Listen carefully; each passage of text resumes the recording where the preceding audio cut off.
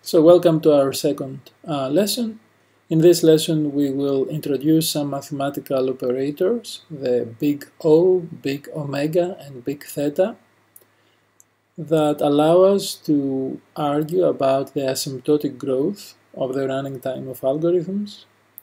We will use these operators to compare different algorithms and ultimately to decide which algorithms are computationally tractable or not.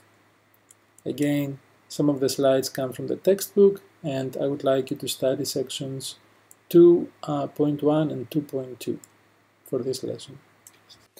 In the previous class we talked about various algorithms and we uh, tried to derive their running time. However, we cannot always write such an expression, such a tight expression, because the algorithm may include if statements, which means that how many operations the algorithm will execute really depend on, on the particular input. Additionally, not every operation has the same latency. As you probably know, doing a floating point division takes much, much longer than just a comparison between integer variables. So instead of trying to write such detailed expressions for the running time, we instead focus on three things. We focus on the worst case possible input.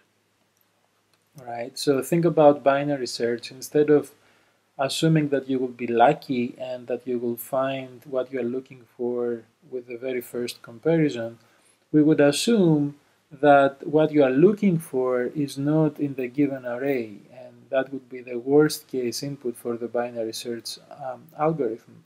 We also care about what happens asymptotically as the size of the input n increases. To see why, suppose that I give you another algorithm b, if this is a, um, that has a running time of n cubed plus 1. This algorithm is faster than a for small inputs, but really we don't care about small inputs we care about what happens uh, as the input size becomes longer and longer. And from that point of view, algorithm B would be slower than algorithm A. The third um, focus is on the functional type of the running time rather than the specific expression. For instance, if I give you the third algorithm in which the running time is 4n cubed plus 4, you would say that algorithm C is four times slower than algorithm B, and that's of course correct. But does it really matter? In both algorithms, the running time increases with the cube of the size n. This is very different than an algorithm in which the running time increases as n, a linear time algorithm, or a running time that increases as let's say 4 to the nth power. So typically we care only about the type of the functional growth rather than the exact expression of the running time. So the first mathematical operator we will define is the big O operator, which is used when we want to have an upper bound for the running time of an algorithm. So suppose that the running time of an algorithm is given by the function t of n. We say that t of n is big O of another function f of n. This, this function will be our, our upper bound. If there is a positive constant c such that the running time of our algorithm is upper bounded by c times the function f of n for any value of n that is larger than a constant n0.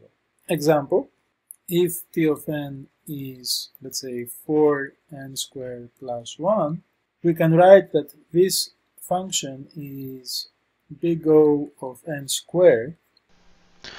For instance, we could pick c equal to 5 and n0 equal to 1 in that case, we can say that t of n, which is 4n squared plus 1, is lower or equal than 5n squared, which is for any n that is greater or equal than n0, which is 1. By the way, the notation big O reads order of. So you would say that this function t of n is order of n squared.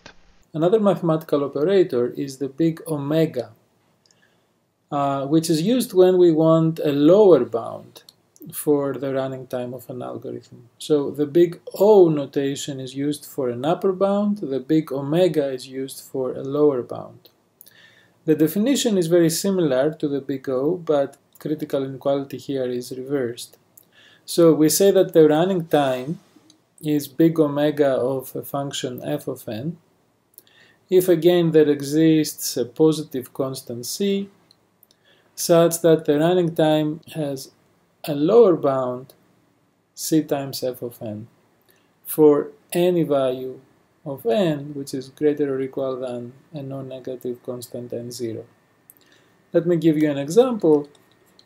Suppose that the running time of our algorithm is n times log base 2n. In that case, you can say that the running time is big omega of n.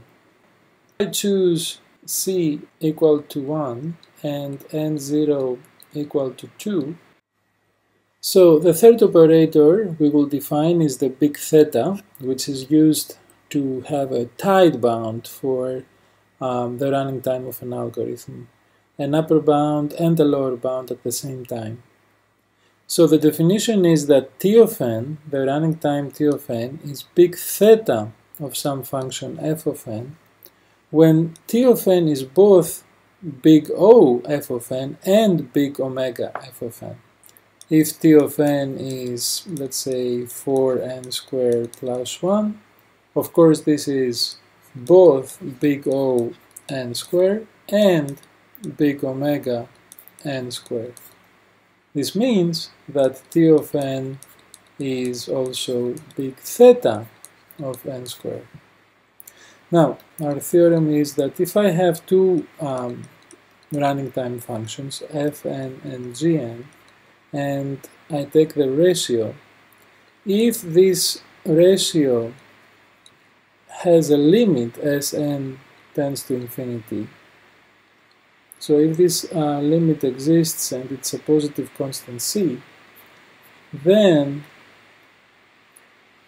one of the two functions is big theta of the other.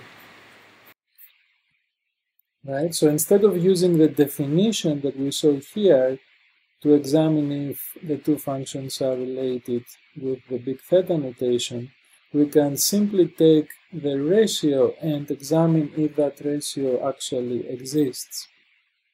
Just based on the definition of the limit, given that this ratio gradually becomes closer and closer to this constant c, it means that fn over gn cannot stay larger than 2 times c forever right? After a certain value of uh, n, it will become less than 2 times c when n is greater than some n0. Right? From this inequality, we conclude that f of n will be smaller than 2c times g of n as long as n is greater or equal than n0, which means that f of n is big O of g of n from our definition. Similarly, given that this ratio converges to c, it cannot stay lower than half of c forever. So sooner or later it will be that this ratio is greater than c over 2 as long as n is greater or equal than some potentially different n0 prime. And so from this inequality we conclude that f of n will be greater than c over 2 times g of n as long as n is greater than n0 prime, which means that f of n will be big omega of g of n. So what we proved here is that f of n will be both big O and big omega of g of n. And so from the definition, f of n will be big theta of g of n.